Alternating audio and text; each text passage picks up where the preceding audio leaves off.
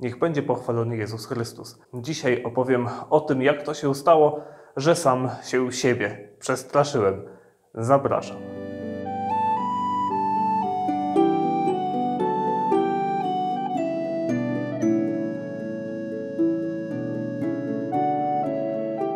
O co chodzi?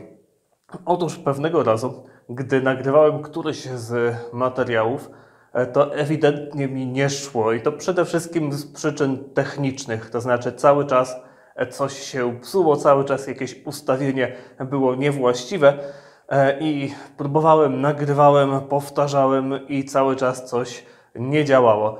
I w końcu puściły mi e, nerwy i właśnie w trakcie takiej próby e, nagrania e, przełknąłem, połknąłem przekleństwo, nie wypowiadając go, ale jednak w moich myślach ono zabrzmiało i, i na twarzy też ten gniew się odbił. No i tak się stało, że to się wtedy na kamerze nagrało i później edytując ten materiał, przez przypadek też e, zobaczyłem, jak to wyglądało i autentycznie się sam siebie e, przestraszyłem, to znaczy swojego wyrazu twarzy w gniewie. I o gniewie sobie właśnie dzisiaj porozmawiamy.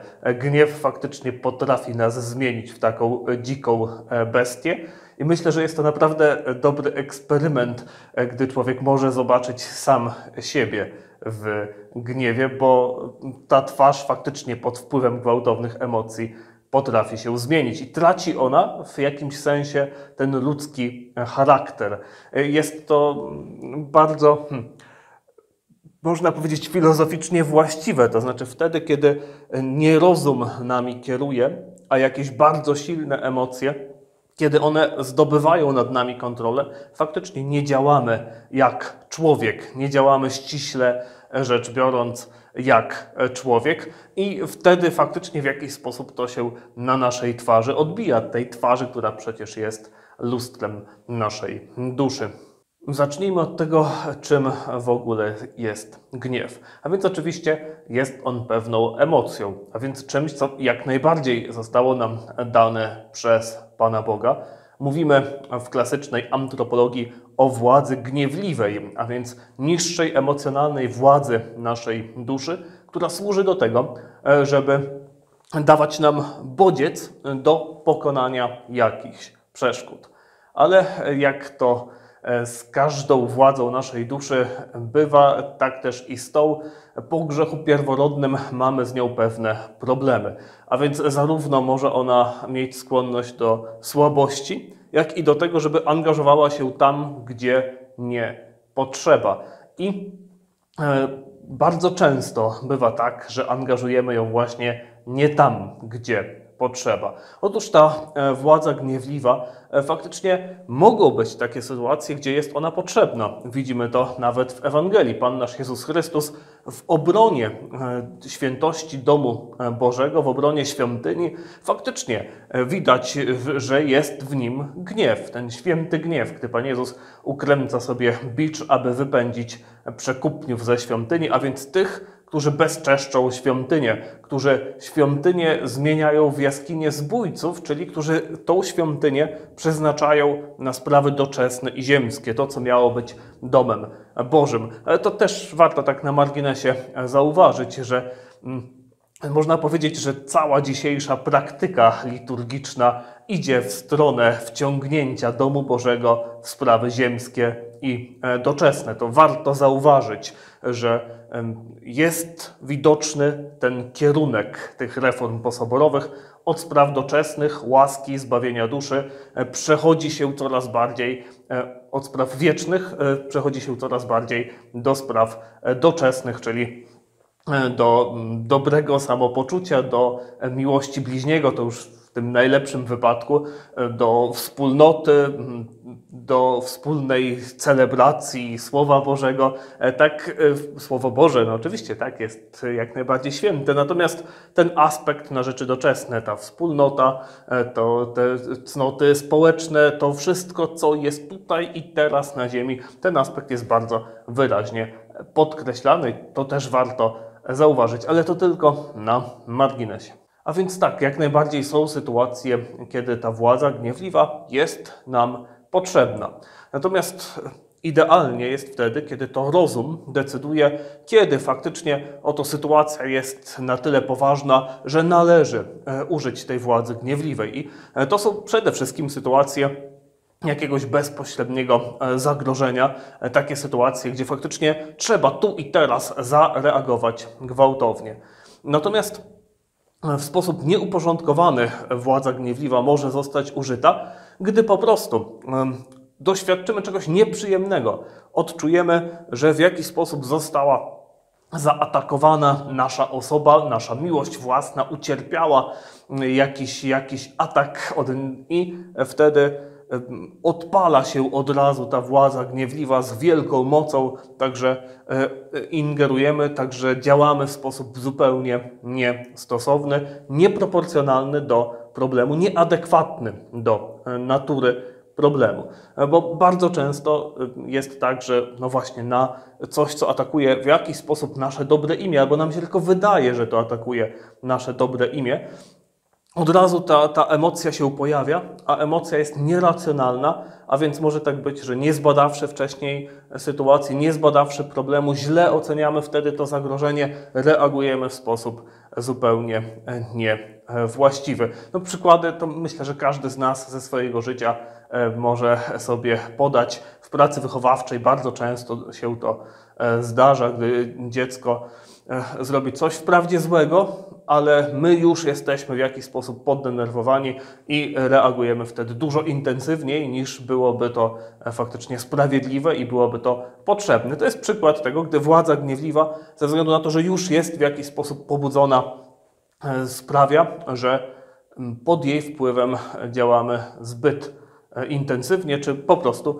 nie sprawiedliwie. Tego słowa tutaj nie należy unikać. Po prostu niesprawiedliwie i władza gniewliwa bardzo często może nas właśnie do takiego działania skłonić. Prawidłowo działająca władza gniewliwa nigdy nie powinna sprawić, że tracimy nad sobą kontrolę.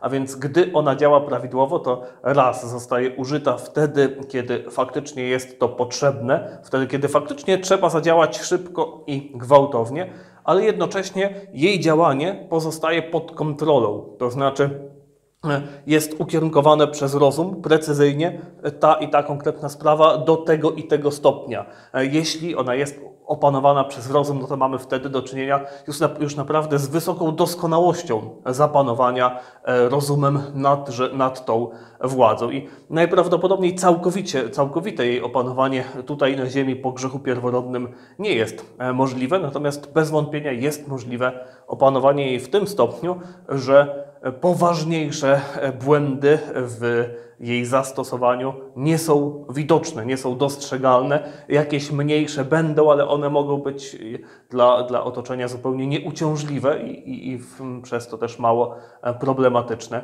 bo po prostu ich skala jest już e, nieduża. No i dzisiaj przede wszystkim chciałem podzielić się pewną metodą, która służy do walki z gniewem, to znaczy do walki o opanowanie tejże władzy gniewliwej. Jest to stara, tradycyjna praktyka właśnie do walki z gniewem. Nie wiem, gdzie jest jej źródło. Nie udało mi się tego źródła znaleźć. Ona funkcjonuje w tradycyjnym duszpasterstwie e, jako właśnie doświadczona, stara, tradycyjna praktyka, ale nie udało mi się znaleźć jej źródła. Jakaż to praktyka? Otóż warto jest mieć w tyle głowy takie nie, nie tylko przekonanie, ale mm, taką skłonność do tego, żeby dostrzegać każdy pojedynczy pozytywny element, każde pozytywne, pojedyncze zdarzenie. O co chodzi? E, gdy tylko widzimy, że ktoś zrobił coś e, dobrze, coś dobrego, albo coś dobrze, jakiś dostrzegamy jakiś szczegół, gdy tylko dostrzegamy jakiś okruch piękna e, w tym świecie, to warto jest sekundę się nad tym zastanowić. A to jest dobre, to jest piękne, to się komuś udało. I to może wydawać się dziwne, co to ma wspólnego z gniewem. A no ma bardzo dużo wspólnego z gniewem, a raczej właśnie z walką z gniewem. Dlaczego? Dlatego, że jeśli napełniamy naszą duszę tymi pozytywnymi bodźcami, e, to wtedy jakiś negatywny bodziec, który do niej wpadnie, nie będzie miał tyle miejsca, żeby rezonować. To znaczy nie wpadnie do takiego pustego pomieszczenia, w którym jak wpadnie, to od razu dudni, tylko wpada do już, już zatłoczonej duszy, tak pozytywnie zatłoczonej duszy. To znaczy do duszy, która jest skłonna do tego, żeby się cieszyć, żeby dziękować Panu Bogu za to dobro, które otrzymaliśmy.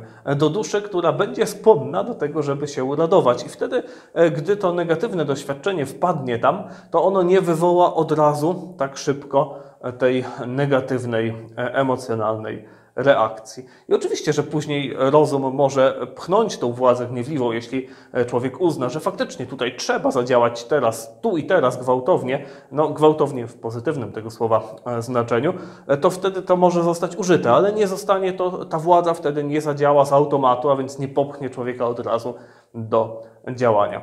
Mm, oczywiście ta praktyka wymaga mm, dosyć długiej pracy.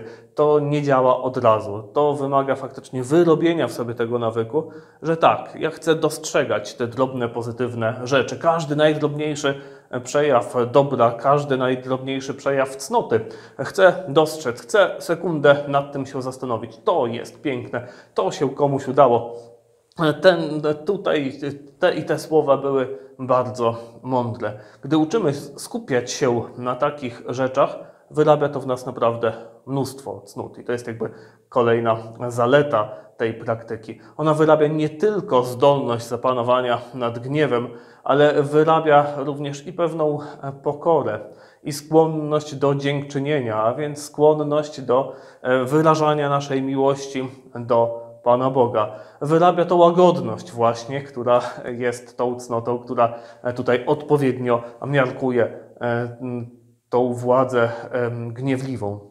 Pomaga ona w praktykowaniu e, dobroduszności, e, pomaga ona w praktykowaniu wielkoduszności, bo wtedy, gdy są te pozytywne sygnały w naszej duszy, ta dusza po prostu jest zdecydowanie bardziej skłonna, e, żeby i dla innych być łagodną i dla innych być dobrą i żeby wielkie, dobre rzeczy planować i przedsięwziąć, bo po prostu ta dusza nie jest zgorzkniała, a to właśnie zgorzknienie, to właśnie te negatywne sygnały, które rezonują, które pracują w naszej duszy, podcinają jej skrzydła. A więc jest to naprawdę praktyka, która pomaga w wypracowaniu bardzo wielu cnót. Zachęcam, żeby codziennie starać się, jak tylko sobie przypomnimy albo dostrzeżemy, że, że myślimy cały czas o tym, tutaj ktoś zrobił coś złego i ten, i to znowu, i sytuacja w świecie, i gdzieś tam, to żeby się zastanowić, a stop, uwaga, chcę, chcę patrzeć na to, na to dobro, które w tym świecie jest, na to dobro, które Pan Bóg nam codziennie daje, bo przecież On utrzymuje ten świat istnieniu i całe to istnienie jest Jego dziełem. I oczywiście, że my je deprawujemy i oczywiście, że nie należy przed tym zamykać oczu. Ale właśnie, żeby odpowiednio walczyć z tą deprawacją, e, potrzeba być najpierw samemu przesiąkniętym tym dobrem, czyli przesiąkniętym cnotami. A żeby być przesiąkniętym cnotami, e, trzeba tą naszą duszę napełniać tym Bożym działaniem. Przede wszystkim na to Boże działanie patrzeć i to dzięki temu będziemy mieli siłę do tego, żeby walczyć z tą deprawacją. Natomiast jeśli patrzymy tylko na tą deprawację, tym naszą duszę napełniamy, e, to sprawia to, że no właśnie raczej gorzknie e, i nie mamy siły do tego, żeby z tym walczyć. Więc bardzo zachęcam do praktykowania e, tejże metody do walki z gniewem. Jest ona wymagająca i wymaga czasu i na pewno nie zadziała to od tak z dnia na dzień. E, to przynosi takie powolne, stopniowe owoce. E, przynosi bez wątpienia te owoce i są one piękne, jeśli jest praktykowana z pewną konsekwencją, ale jednak wymaga to czasu i oczywiście nie oczekujmy, że z dnia na dzień to się po prostu wszystko naprawi. Oczywiście pamiętajmy również o tym, żeby w modlitwie o tym Panu Jezusowi mówić, że to i to stwarza nam problem, że to i to nas rozgniewało, że tutaj i tutaj nie zapanowaliśmy nad sobą i prośmy Go cały czas o tą siłę do tego, żeby z tymi naszymi słabościami walczyć. Niech będzie pochwalony Jezus Chrystus.